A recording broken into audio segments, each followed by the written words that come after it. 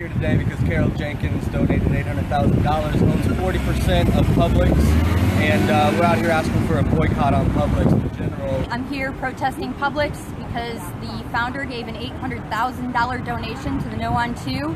I would like you to vote yes on 2. They're supporting the opposition, hurting Florida's patients.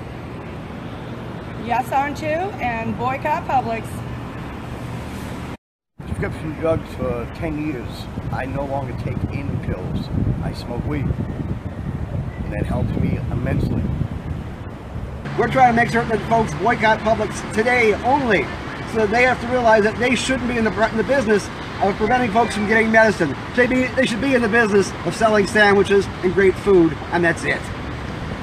Woo! Say yes on 2.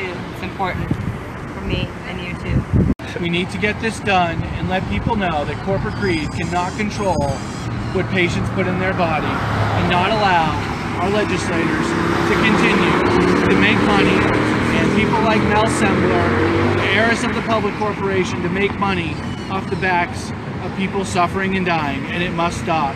And it stops with us by taking action, not apathy, and getting out to vote and support Amendment 2.